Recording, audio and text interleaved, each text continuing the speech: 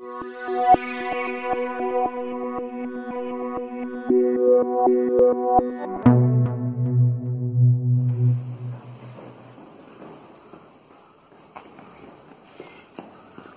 I'm Jerome, and I want to be sustainable. And this week, I'm going to try to avoid air pollution.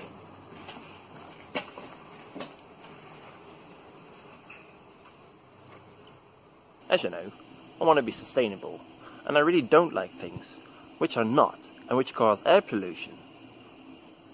Like this car, or these cars.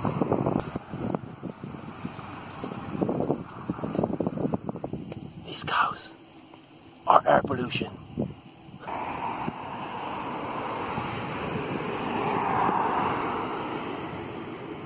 This factory is a bad boy air polluter.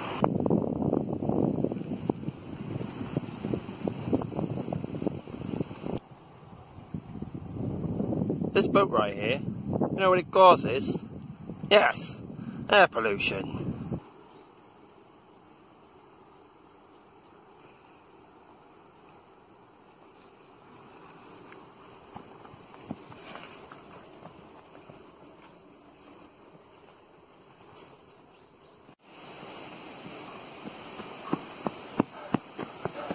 I finally reached my destination, nature. Sustainability!